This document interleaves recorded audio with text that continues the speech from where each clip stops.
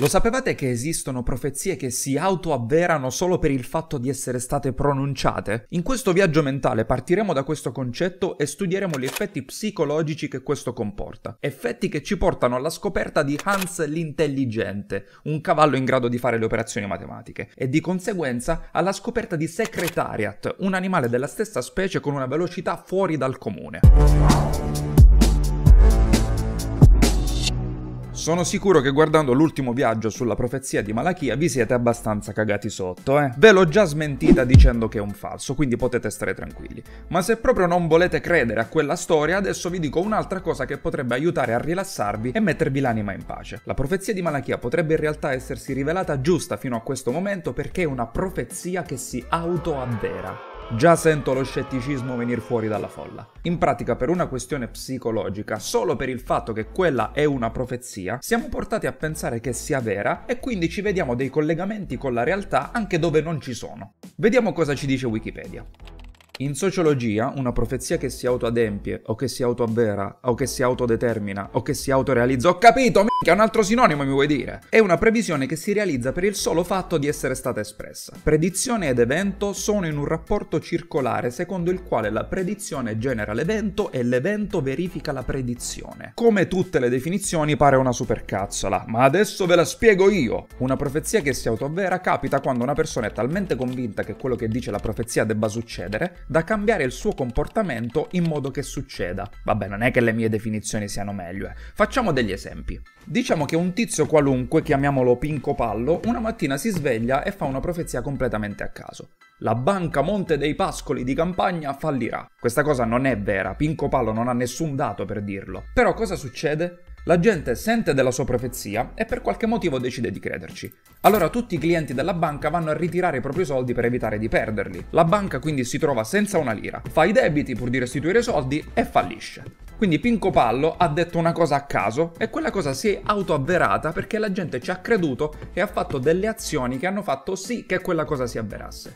Incredibile, oh! Ovviamente dietro questo tipo di profezia gli scrittori fantasy ci sguazzano. Per esempio, in Harry Potter, Voldemort viene a sapere di una profezia che dice che un ragazzo nato alla fine di luglio lo ucciderà. Lui prende la profezia per vera e va a casa di Harry a uccidere tutta la sua famiglia prima che questo ragazzo diventi grande. Ma riesce a uccidere tutti tranne Harry, dandogli così un motivo per uccidere Voldemort. Spoiler, alla fine Voldemort muore ucciso dal ragazzo e la profezia si avvera. La profezia quindi ha scatenato la reazione di Voldemort che è stato la causa stessa del suo avverarsi. Perché se Voldemort non ammazzava i genitori di Harry, a Harry che gliene fregava di lui. Ora, a questa cosa di essere la causa stessa dell'avverarsi della profezia, aggiungiamoci il concetto del tempo, che so che a voi piace. E questo non è da paraculo.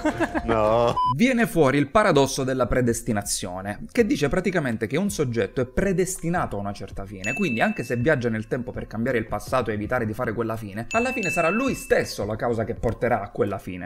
Per esempio, nella serie Dark, super intrippante che ho anche riassunto per intero pentendomene amaramente perché per far tornare tutte le storie l'hanno penato come un disperato, l'anziano Helge sai che in età giovanile subirà un incidente in auto che lo porterà alla semidemenza. Quindi viaggia nel tempo per rintracciare il se stesso giovane e metterlo in guardia su quell'incidente. Il risultato è che mentre cerca di salvarsi, è proprio lui da vecchio che ha l'incidente con il lui più giovane portandolo così alla demenza. Il passato non si può cambiare, non ce n'è. Questo dice il principio di autoconsistenza di Novikov Chekhov. Viaggiare nel tempo crea degli anelli temporali immutabili. Pensate che c'è pure gente che studia questi scenari assurdi con gli esperimenti mentali. Se la cantano e se la suonano, insomma. Eppure io, visto che di queste cose ne ho già parlato in un altro Click and Trip. Andatelo a recuperare. Ecco, però diciamo che secondo questi principi sembra che io posso dire qualsiasi cosa che tanto alla fine si autoavvera. Tipo adesso io dico il canale Bounded Mind arriverà a 100.000 iscritti entro il 2022. Ma non è così facile, perché se voi mi date retta e la voce di questa profezia si sparge, la gente inconsciamente inconsciamente segue la profezia e si iscrive e il canale arriva a 100.000 iscritti. Se nessuno di voi mi caga, invece ciao e tanti saluti. Il punto è proprio che per avere una profezia che si autoavvera, la gente ci deve credere alla profezia, se no non succede niente. Questa cosa della profezia che si autorealizza in psicologia si può trovare in altri aspetti. Ci sono infatti tre effetti strani che più o meno si riconducono a questo, perché in un certo senso c'è una specie di profezia di mezzo, anche se dovuta alla propria testa e non pronunciata da nessuno. Il primo si chiama effetto Hawthorne ed è stato scoperto scelto a caso.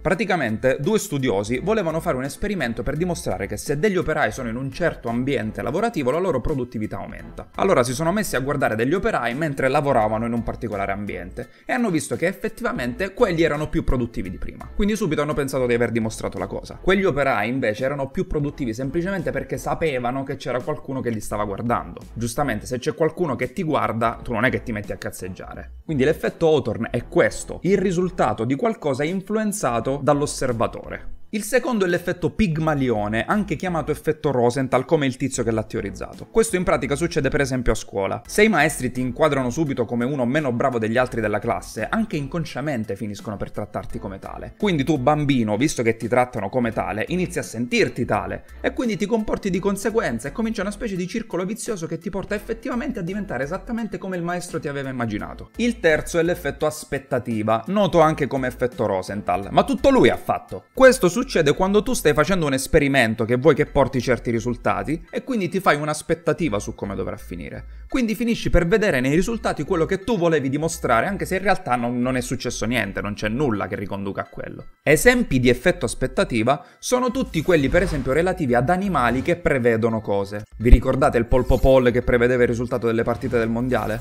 Guarda, c'ha pure la pagina Wikipedia con la data di nascita e di morte, è una star sto polpo. Ma prima di lui c'era un altro animale ritenuto intelligente, che però in realtà era vittima dell'effetto aspettativa. Talmente intelligente che era pure il suo soprannome, Hans l'intelligente. Hans l'intelligente, in tedesco Der Kluge Hans, era un cavallo che sapeva fare operazioni matematiche e logiche. Questo era di proprietà di un insegnante di matematica addestratore di cavalli e secondo il suo padrone sapeva fare le addizioni, le sottrazioni, le moltiplicazioni, le divisioni, le operazioni con le frazioni, il regista di film per adulti e il caffè. Ok, le ultime due le ho aggiunte io. Comunque, visto che il suo proprietario si portava sto cavallo in tour come fosse una rockstar, un giorno ha attirato le attenzioni dello psicologo Oscar Fungst, che bel cognome pronunciabile fra l'altro. Questo Pfungst si è messo a fare delle prove col cavallo e ha scoperto che lui faceva bene i conti non perché sapeva fare le operazioni, ma perché leggeva il linguaggio del corpo involontario di chi gli faceva le domande. E la gente era vittima dell'effetto aspettativa perché sapeva che quello doveva saper fare i conti e quindi vedeva nei suoi gesti che i conti li sapeva fare. Fra l'altro ora non si sa manco che fine abbia fatto sto cavallo, ma non è manco l'unico della sua specie ad essere famoso. Un altro famoso cavallo, per altri motivi perché non è che mo tutti sanno contare, è Secretariat. Secretariat è stato un cavallo puro sangue inglese, campione negli Stati Uniti, che ha stabilito un fottio di record che durano ancora ora e ha vinto un bordello di trofei. Il Kentucky Derby, il Preakness Stakes, il Belmont Stakes, la Triple Crown of Thoroughbred Racing e non so perché li sto leggendo visto che non ci capisco niente. Nella classifica dei 100 migliori cavalli da corsa americani del XX secolo è posizionato al numero 2, subito dopo Manowar. Cioè tutto sto casino e poi è secondo. Comunque la storia di questo cavallo è così strana che secondo me qualcuno ci sta ancora rosicando. Praticamente c'era questo tizio di nome Ogden Phipps che aveva questo cavallo di nome Bold Ruler, che era uno dei più importanti stalloni del tempo, proprio meglio anche di Sylvester. Ok, questa faceva pena. Insomma, lui si è messo in contatto con una certa Penny Tweedy e si è fatto mandare due cavalle per far accoppiare il suo stallone con entrambe e fare due puledri. Le cavalle erano Hasty Matilda e Something Royal, nomi proprio puri e misurati. Sono rimaste tutte e due incinta e poi Phipps e Tweedy hanno lanciato una monetina per scegliere chi doveva prendersi quale puledro. E ora ascoltatemi bene. Phipps ha vinto il lancio della monetina e ha scelto il figlio di Asti Matilda. Tweedy allora si è presa il figlio di Something Royal. E il bello è che ora nessuno sa chi diavolo sia il figlio di Asti Matilda, perché Secretariat è il figlio di Something Royal. Cioè questa ha perso e si è pure beccata il cavallo più forte. Pure il nome è particolare, significa segreteria, perché quando è stato iscritto alla prima corsa e dovevano dargli un nome, nessuno andava bene. E siccome ce l'aveva portato lì la segretaria, alla fine si è un po' scocciata e gli ha dato il nome del suo lavoro. Questo cavallo poi ha fatto la storia. Era davvero una gallina dalle uova d'oro e quando ha smesso di correre è stato usato per fare altri puledri nella speranza di far nascere cavalli forti tanto quanto lui.